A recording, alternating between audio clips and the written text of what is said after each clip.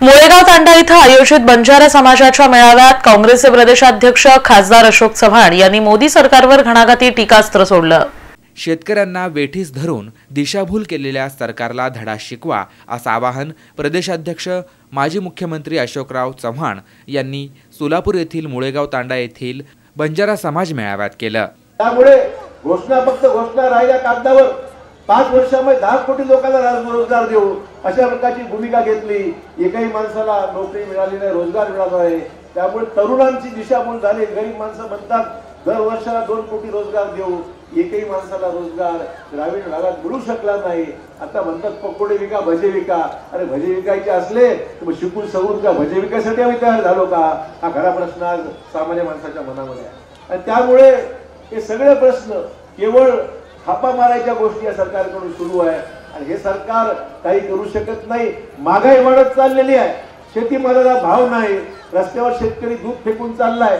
रस्त्यावर शेतकरी अन्नधान्य फेकून चाललाय. शेतकऱ्यांचा संप सुरू आहे. परंतु या सरकारला जाग येत नाही.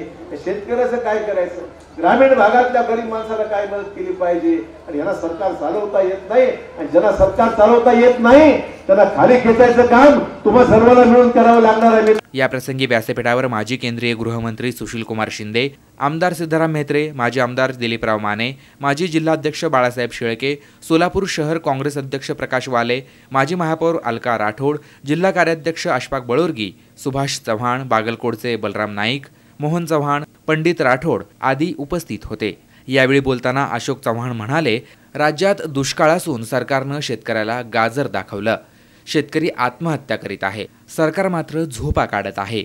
बंजारा समाज नेहमी काँग्रेसच्या पाठीशी आहे. बंजारा समाजाचे प्रश्न सोडवण्यासाठी काँग्रेस पक्ष आणि राहुल गांधी तुमच्या पाठीशी आहेत असं त्यांनी सांगितलं. त्यानंतर सगळं कारभारच कोलमडला गेल्या पाच वर्षामध्ये गेल्या पाच वर्षामध्ये आपल्या काँग्रेसच्या कालावधीमध्ये सुरू केलेल्या बंजारा समाजाच्याच नव्हे. मागासवर्गीय समाज आहे मातंग समाज आहे बौद्ध समाज आहे बंजारा समाज आहे. सगळ्या समाजाच्या सामाजिक समस्या फक्त गाजर दाखवण्याचं काम चालू आहे. आम्ही तुम्हाला हे देऊ ते देऊ. निवडणुका आल्या की गाजर दाखवायचे निवडणुका संपल्या की विषय संपला. अशा प्रकारची परिस्थिती या विद्यमान शासनाने आज निर्माण केलेली आहे. उद्धव ठाकरे म्हणले गोष्ट खरी आहे की गाजराची पुंगी वाजवायला सुद्धा गाजर घ्यायला पैसे नाही आमच्याकडे. मी म्हणत नाही शिवसेनेवर म्हणतात. म्हणजे गाजराची पुंगी सुद्धा वाजवण्याकरता गाजर आमच्याकडे नाही पैसेच नाही आमच्याकडे.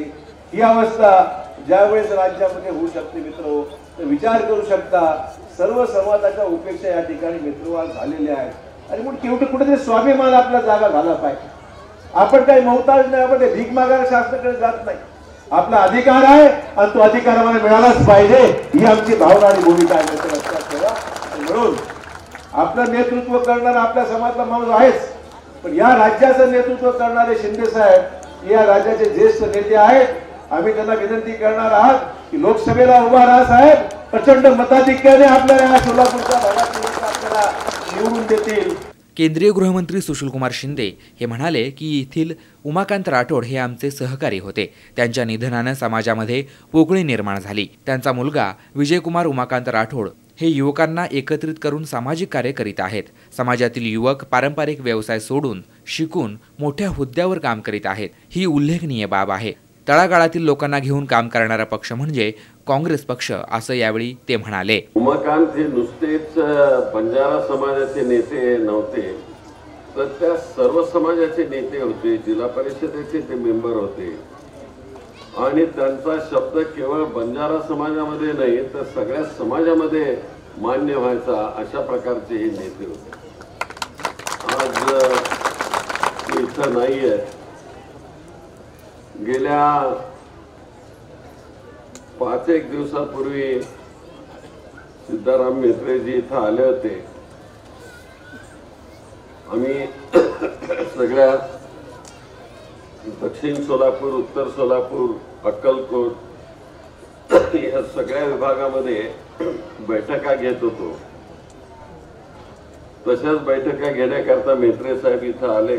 या प्रसंगी अलका राठोड मोतीराम राठोड यांनी आपलं मनोगत व्यक्त केलं. प्रास्ताविक आणि आभार विजय राठोड यांनी मानले. सूत्रसंचालन प्रसिद्धी प्रमुख सातलिंग षटकार यांनी केलं.